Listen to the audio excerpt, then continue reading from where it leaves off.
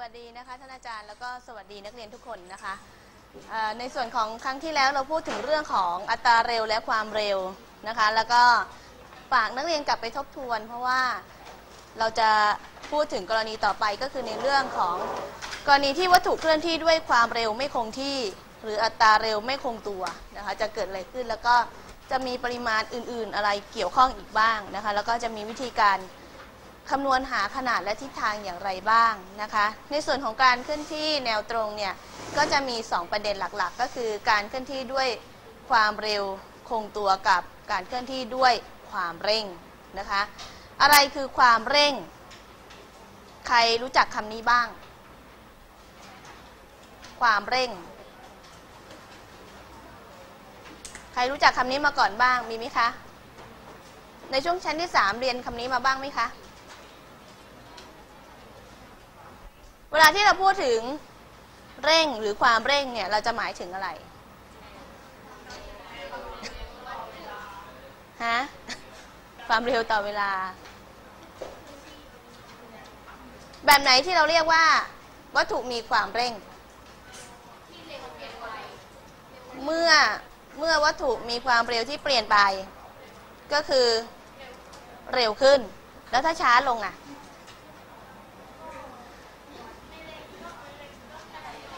ถ้าช้าลงถือว่าวัตถุมีความเร่งไหมคะมีอ่านะคะ อันนี้เป็นเป็นความรู้ที่ส่วนใหญ่จะมามามากันแบบนี้ทั้งนั้นเลยเริ่มต้นนะคะ แต่ว่าเมื่อนักเรียนเรียนแล้วนักเรียนต้องทำความเข้าใจใหม่นะคะ ความเร่งในทางภาษาไทยกับทางฟิสิกส์เนี่ยเราจะต่างกัน ในทางฟิสิกส์เราถือว่ากรณีใด ๆ ก็ตามที่วัตถุเคลื่อนที่ด้วยความเร็วที่ไม่คงที่ เราถือว่าวัตถุมีความเร่ง นั้นถ้าเกิดว่าเราพิจารณาคาว่าความเร็วไม่คงที่มันอาจจะเพิ่มขึ้นหรือลดลงก็ได้นั้นในทางฟิสิกส์เนี่ยความเร่งมีทั้งเร็วขึ้นหรือว่าช้าลงก็ได้นะคะนั้นในกรณีอะไรบ้างที่ทำให้วัตถุมีความเร่ง มีปัจจัยอะไรบ้างที่ทำให้วัตถุเกิดความเร่ง เราจะมาพูดถึงกันในชั่วโมงนี้นะคะ ก่อนอื่นเรามาดูในเรื่องของความเร่งก่อนนะคะ ความเร่งหมายถึงอะไร เขาบอกว่าความเร่งก็คืออัตราการเปลี่ยนแปลงความเร็ว หรือความเร็วที่เปลี่ยนไปในหนึ่งหน่วยเวลา ในกรณีของความเร่งเนี่ยเราจะแบ่งออกเป็น 2 ประเภทด้วยกัน ก็คือความเร่งเฉลี่ยแล้วก็ความเร่งขณะหนึ่งก็คล้ายๆ กับที่เราเรียนมาเรื่องของอัตราเร็วและความเร็วนะคะอัตราเร็วและความเร็วก็จะมีอัตราเร็วและความเร็วเฉลี่ยใช่ไหมคะอัตราเร็วขณะหนึ่งความเร็วขณะหนึ่งนะคะ อัตราเร็วและความเร็วเฉลี่ยก็คือตลอดเส้นทางเป็นเป็นการเฉลี่ยตลอดเส้นทาง แต่ถ้าเป็นขณะหนึ่งก็คือแวบหนึ่งที่เรามอง แวบหนึ่งที่เราาสังเกตที่มาตรวัดความเร็วว่ามีขนาดเท่าไหร่ ตรงนั้นเราเรียกว่าความเร็วขณะหนึ่งหรืออัตราเร็วขณะหนึ่งนะคะทีนี้จากการสังเกตของการเคลื่อนที่ของวัตถุเนี่ยเราจะเห็นว่าบางครั้งเนี่ยวัตถุมันไม่ได้มีอัตราเร็วขณะหนึ่งที่คงที่ตลอด ช่น วินาทีที่ 5 เป็น 8 เมตรต่อวินาที วินาทีที่ 15 เป็น 15 เมตรต่อวินาที วินาทีที่ 20 มาเป็น 2 เมตรต่อวินาที อย่างนี้เป็นต้นนะคะ จะให้ดูตัวอย่างกรณีของการเคลื่อนที่ด้วยความเร่งอันหนึ่งตรงไหนดี จะได้กว้างๆหน่อยเนาะ อันนี้ยืมลูกชายมา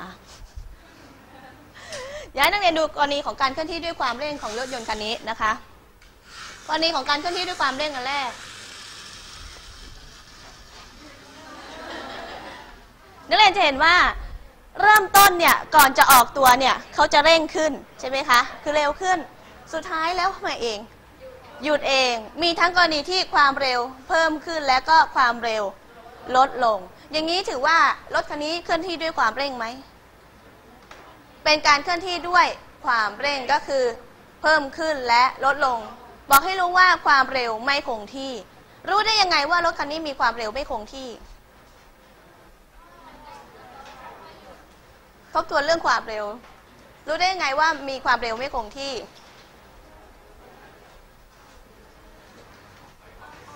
ขออีกรอบ มีคนบอกขออีกรอบนะคะ รู้ได้ยังไงว่ารถคันนี้มีความเร็วไม่คงที่ ถ้า เราเข้าใจคำว่าความเร็วแล้วนักเรียนจะตอบได้ ความเร็วเป็นปริมาณเวกเตอร์ ต้องบอกทั้งขนาดและทิศทาง จะคงที่ก็ต้องคงที่ทั้งขนาดและทิศทาง อย่างแรกแล้วที่มันไม่คงที่คือขนาดถูกไหมคะเพราะว่ามันมันกลายเป็นหยุดตอนสุดท้าย ก็แสดงว่าจุดเริ่มต้นกับจุดสุดท้ายเนี่ยไม่เท่ากันละนะคะ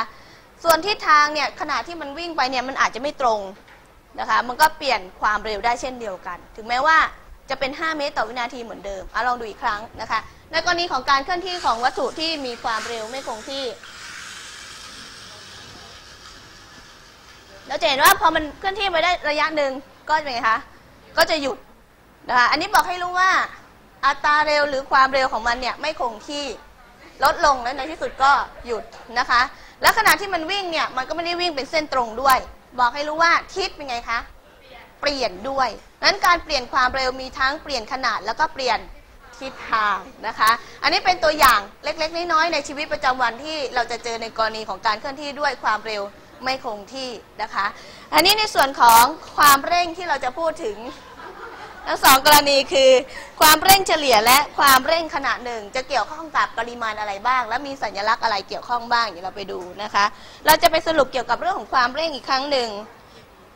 นักเรียนไม่ต้องจดใหม่ก็ได้นะคะ จากเรื่องของความเร่งก็คือความเร็วที่เปลี่ยนไปในหนึ่งหน่วยเวลา หรือเราอาจจะพูดอย่างหนึ่งว่า คืออัตราการเปลี่ยนแปลงความเร็วนะคะ ถ้าเป็นอัตราเร่งล่ะอัตราอัตราเร่งก็คืออัตราเร็วที่เปลี่ยนไปในหนึ่งหน่วยเวลา หรืออัตราการเปลี่ยนแปลงอัตราเร็ว มาจากอัตราเร็วเป็นอัตราเร่ง มาจากความเร็วเป็นความเร่งนะคะ แต่ส่วนใหญ่แล้วในกรณีของการเคลื่อนที่ด้วย เบื้องต้นก็คือการเคลื่อนที่แนวตรงเราจะพูดถึงมาก ๆ ก็คือความเร่งนะคะ คือต้องให้นักเรียนนักเรียนเนี่ยคำนึงถึงทั้งขนาดและก็ทิศทางจะได้เป็นการระวังไปในตัวนะคะ สัญลักษณ์ที่เราใช้แทนความเร่งคือ A ตัว A คำว่าความเร็วที่เปลี่ยนไปก็หาได้จาก v 2ลบ v 1หรือถ้านักเรียนไปอ่านคู่มือต่างๆ นักเรียนจะเจอสัญลักษณ์คือเป็น u กับ v ก็คือให้ v เป็น v 2 u คือ v 1เดี๋ยวเราจะไปดูรู้จักตัวแปรพวกนี้กัน ใน 1 หน่วยเวลาก็คือหารด้วย t นั้นความสัมพันธ์ของความเร่งก็คือ a เท่ากับเดลต้า v ส่วน t เดี๋ยวเราไปรู้จักตรงนี้กันนะคะในกรณีของความเร่งอีกอย่างหนึ่งคือ ความเร่งที่เกิดจากความเร็วลดลง เห็นไหมคะ ตอนที่ลดกันเมื่อกี้เนี่ยก่อนจะหยุดเห็นความเร็วมันลดลงอย่างคงที่ แล้วในที่สุดก็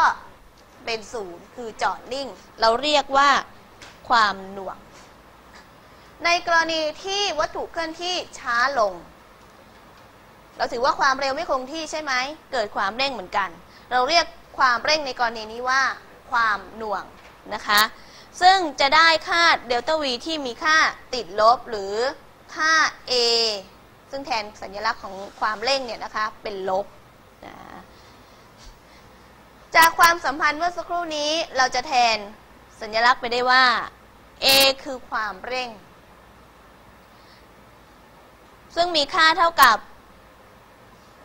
อัตราการเปลี่ยนแปลงความเร็ว สัญลักษณ์ที่แทนคำว่าอัตราการเปลี่ยนแปลงความเร็วก็คือเดลต้า v ส่วนเดลต้า t ถ้าเขาพูดถึงอัตราปุ๊บแสดงว่าต้องหารด้วยเวลานะคะ ความเร็วที่เปลี่ยนไปก็คือเดลต้า v หาได้จากอะไร v สุดท้าย ลบด้วย v เริ่มต้น ยกตัวอย่างเช่น ขณะที่นักเรียนวิ่ง 400 เมตร เราอยากรู้ว่าระยะ 100 เมตรแรกเนี่ย นักเรียนมีความเร็วเปลี่ยนไปเท่าไหร่ ก็ดูจากจุดเริ่มต้นก็ต้องเป็นศูนย์ใช่ไหมคะ ยังไม่เคลื่อนที่ แล้วไปดูที่ 100 เมตร นะเราเอาแค่ระยะ100เมตรนั้นจุดเริ่มต้นก็จะเป็นความเร็วเริ่มต้นคือ v 1 พอไปถึงระยะ 100 เมตรเป็น v 2 ดูว่าเปลี่ยนไปเท่าไหร่ก็เอาความเร็ว v 2 ลบด้วย v 1 ก็เป็นเดลต้า v นะคะ ส่วนเดลต้า t ก็คือ เราเริ่มต้น v 1 ตรงไหนก็เป็น t 1 ตรงนั้นนะคะ v 2 ตรงไหนก็เป็น t 2 ตรงนั้น ก็คือช่วงเวลาที่เปลี่ยนความเร็ว จุดเริ่มต้นเรามักจะใช้ t 0ก็คือณ0วินาทีนะคะ อันนี้ก็เป็นความเข้าใจเบื้องต้น